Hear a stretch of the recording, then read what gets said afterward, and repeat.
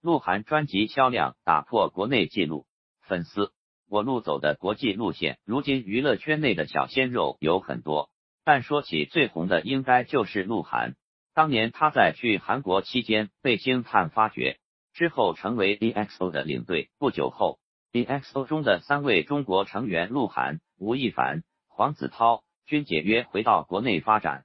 其中，鹿晗、吴亦凡是这几年发展的最好的。如今，明星们更多的是以人气排名，自然鹿晗在国内的人气也很高，拥有着一大批粉丝基础。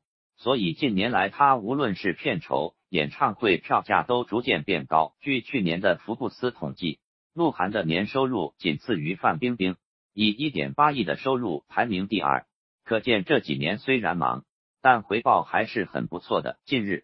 鹿晗在多个主流音乐平台上都获得不错的播放量，其中光数字专辑的销售量就达到一千万张，打破国内纪录。数字专辑并不是实体专辑，而是通过在音乐软件购买的播放权。在实体专辑上的记录是歌神张学友六千万张的销量，多年稳居国内第一。除了数字专辑打破纪录之外，鹿晗的 MV 播放量也高达三千万次。